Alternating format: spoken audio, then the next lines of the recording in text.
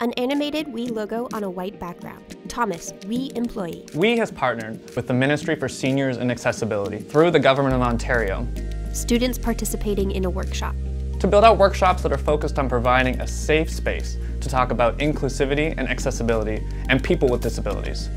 The goal is to make Ontario more accessible and inclusive. Student. As we would go along the timeline, like more and more inclusion for the disabled community, I feel like a lot of the stuff should have happened sooner. That surprised me that it took so long for people to realize that. Teacher.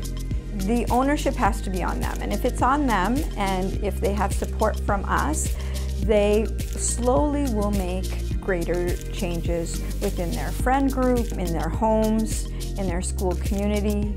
Workshops like this just allow to have the opportunities to be exposed to even more information. Joel, Paralympian. It's really up to you guys to create positive change, to create an accessible Ontario. Joel navigating his workplace in a wheelchair with coworker.